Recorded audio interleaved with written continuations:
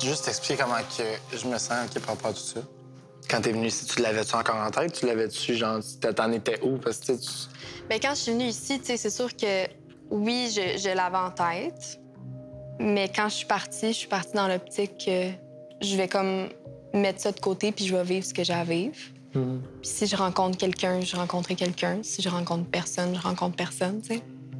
Jusque là, de la façon que moi je me sens dans toute cette histoire-là, c'est que j'ai l'impression d'être un peu un genre d'essai, puis que si ça marche pas, tu- vas retourner avec lui, mais que tu reviennes.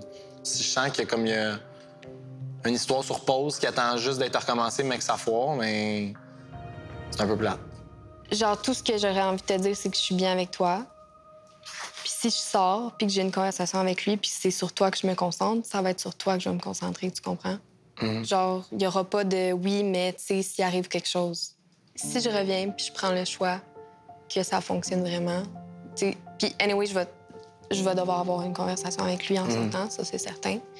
Mais j'irai pas, j'irai pas jouer sur deux plans, j'irai pas, euh, je je ferai pas semblant là. OK. En tout cas, si le gars écoute l'émission, je pense qu'il a eu le message.